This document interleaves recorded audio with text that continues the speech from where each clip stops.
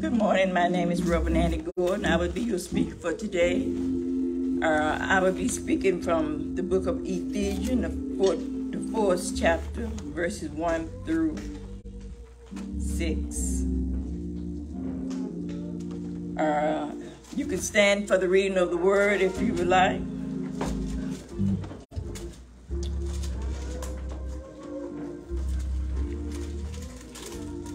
Ephesians, fourth chapter, verse 1 through 6. Uh-huh. I therefore, the prisoner of the Lord, beseech you that ye walk worthy of the vocation wherewith ye are called, with all loneliness and meekness, with long suffering, forbearing one another in love, endeavoring to keep the unity of the Spirit in the bond of peace. There is one body and one Spirit, even as ye are called in one hope of your calling. One Lord, one faith, one baptism, one God and Father of all, who is above all and through all and in all. May the Lord add a blessing to the reading of his word for edification of my soul. Amen. My Heavenly Father, we come right now to tell you thank you. We thank, Thank you, you. Lord, for this day. Yes. We thank you for allowing me to stand here and speak another word, Heavenly Father, for your glory. Ask you right now to just create in me a clean heart, renew a right spirit within me, and just fill me with your Holy Spirit, Heavenly Father, and touch right now, Heavenly Father, and let someone receive the word of God. We ask you right now, Lord, to bless us. And as I go forward, uh, we would like to invite you to come and visit us, 6 and 758 South Wabash Avenue. Our service starts at 11.30. Our pastor is Reverend Wills. We would love to have you. Service starts at 11.30. I would love to see your face. So this morning I will be talking about let's walk in unity. And there's been a lot said about a lot of things that is on my mind that I want to say, but I know it might touch somebody in the wrong way. But I have gotten old enough and gray-headed enough to feel that the Lord has put me here this long for a reason. All right. All right. So I want us to we, that we should just be able to walk in unity and help each other. I remember reading in Jeremiah, I don't forget what chapter, maybe. God told Jeremiah that I want you to pluck up and replant. Mm-hmm. And he wanted him to pluck up Israel and replant another nation. And there's been a lot of talk about some people's coming to Chicago. And that, you know, is we are all one body. And I think that uh, the reason a lot of people are talking is because they're not citizens.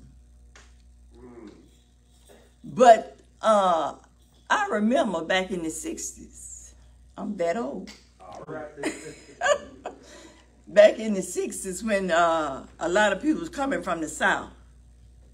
And there's another race was saying the same thing that we say on, come on, come on. about that, you know. And he told Jeremiah, you got to pluck up some folks sometime and replant. And they are saying now that you're not, they're not doing anything for the citizen here. I even heard that this morning. But they did do something for us. We had the projects. And a lot of people don't think they was good, but there was a place to stay There you go. until you could save money and get out. There was a place to stay. And so now these people need help. One body. The Holy Spirit was sent.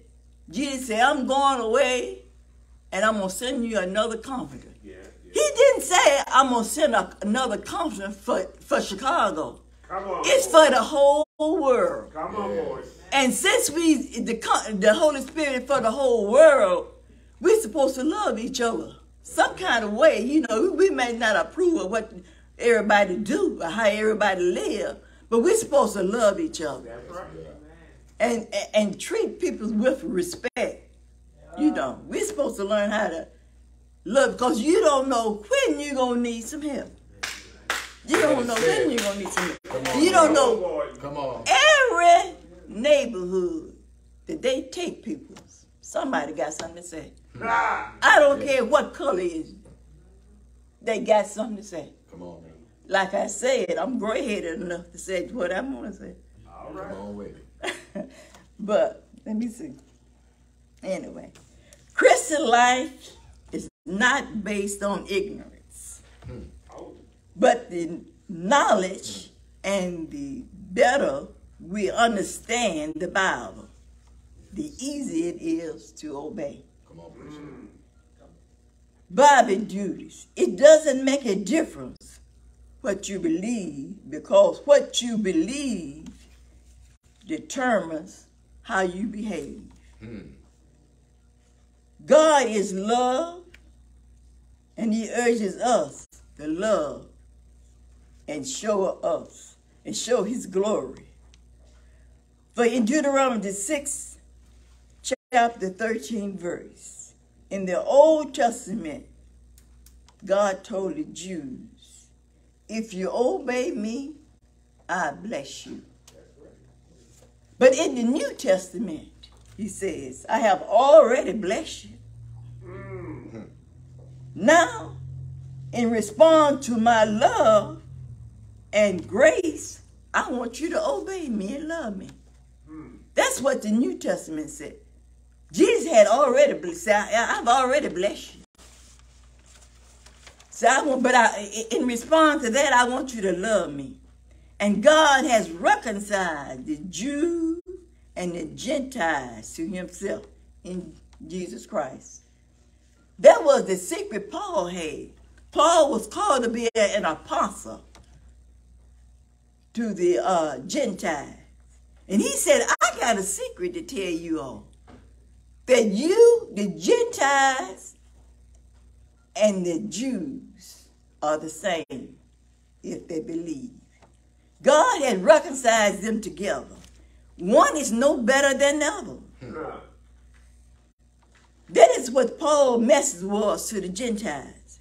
And sometimes you got to be careful too. I want to talk about how you treat people. Because in the, about the ninth chapter of the book of Acts, you read about Paul, you know, on the Damascus Road and how he was going to uh, get Christians and put them in jail and beat them and all that stuff. You got to be careful how you treat people because everything that happened to Paul, they that Paul was doing to these people, they did it to Paul. Come on. You know, you got to be careful how you treat people. That's right, because it might come back on you. Ah. And they put him in jail. They beat him and all that. Everything Paul had done came back on him, but he was God. Jesus told him to go and be an apostle to the Gentiles. How do we walk in unity? We must have grace of unity. Humanity means putting Christ first. Other people second and put yourself last. Sometimes it's hard to do. Ah, yes. God does not condemn you when you accept yourself and your gifts. You know, uh, when you say you have a gift and, and, and uh, everything, you know, he don't condemn you for having a gift. He has given people's gifts. A gift is something that you like doing. But a talent is something you like doing. But a gift is when you edify the church, when you're upbuilding the church and stuff. That, he don't condemn you when you accept yourself and your gift. He just not want you to think more highly of yourself when you have this gift. You know, when you get a gift, you think you are better than anybody else, you know. That's a gift you have that you like doing. But when you, God has given you this spiritual gift, He wants you to edify the church, bless the church, Yes. you know. And meekness is not weakness. Come on. It's power under control. All right, Yes. all right. Moses was a meeting man. He had power, but he had it under control, except one or two times. Yeah. Jesus was a meeting man. He had power, but he had it under control. Sometimes, if you're a, a meekness person, that you have to step out sometime and let people know that you just can't run over me today. You know, you might have did it yesterday. today. We must have peace. The reason for war on the outside is because we have war in the inside. Mm. We got it going, Come on, preacher. worried, you know, talking about each other. You know, something is going on with your mind, with your brain. You got war going on on the inside. So whatever is going on in the inside is going to show on the outside. Yes, it is. The believers who know of one body walk in the spirit and look for the Lord. You know, when Jesus left, he said, I'm sending you another comforter. He sent it for the whole world. And he sent it for the whole world. You might, we all together in a whole world, but you also can be together locally based together like we in Chicago. We always can be connected, but we are connected in the whole in the whole world through the Holy Spirit. How we um, live together in unity. One faith, one baptism, one Father. God is over all the world. He's working through all of us and we should be able to work together in unity.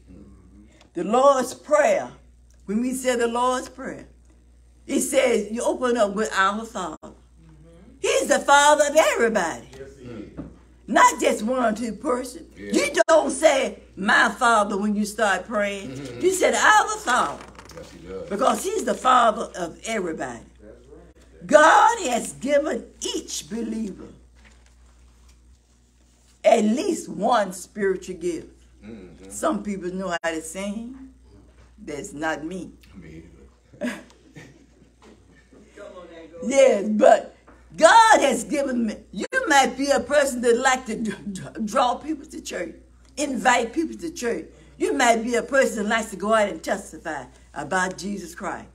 God has given each person at least one gift.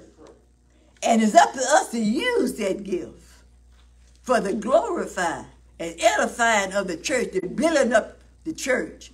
Whatever it is that you know how to do, that God has given to you to do, you should be willing and able to do it. Mm-hmm. And, and then you ought to train somebody else, mm-hmm. the younger generation. Come on now.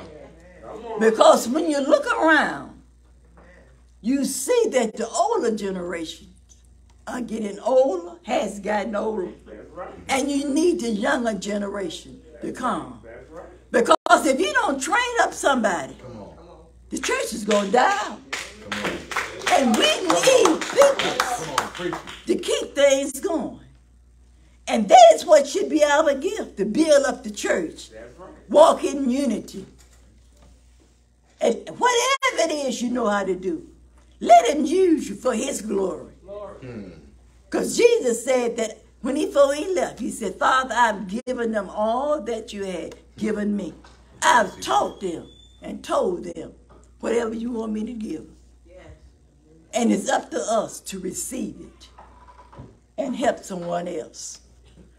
God bless you. Amen. Amen.